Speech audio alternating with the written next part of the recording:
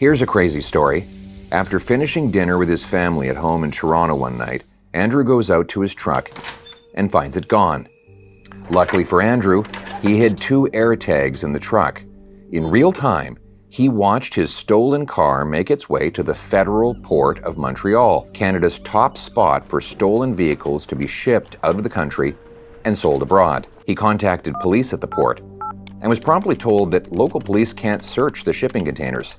Side note the Canadian Border Service Agency only has five agents to inspect 580,000 containers that leave the federal port of Montreal every year.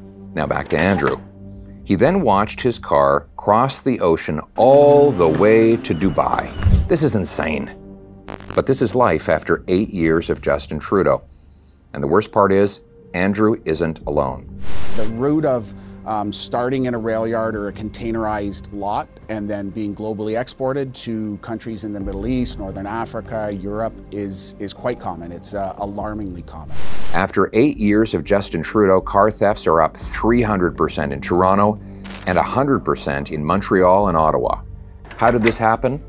Justin Trudeau's mismanagement and catch and release criminal justice policies. Yesterday, I talked about how the changes Justin Trudeau made to the criminal code put criminals before car owners. But there's a second reason, and that is Justin Trudeau has let our federal ports spiral out of control. How else can your car from a little neighborhood in Toronto end up overseas? This is crime and chaos. Right now, they're making so much money shipping cars overseas that the low risk and the high reward is just uh, too lucrative for organized crime. A report suggests that the federal port of Montreal is checking as little as 1% of what they ship out of our country. So today, I'm announcing part two of my common sense plan to stop car theft.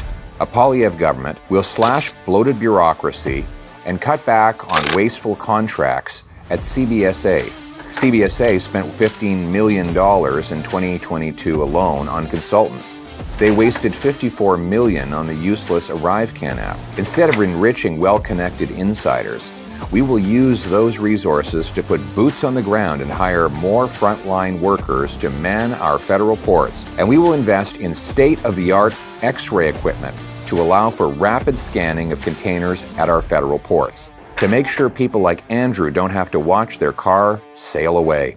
Justin Trudeau protects criminals instead of protecting your car. I'll do the opposite. Let's hit the brakes on car thieves and bring home safe streets.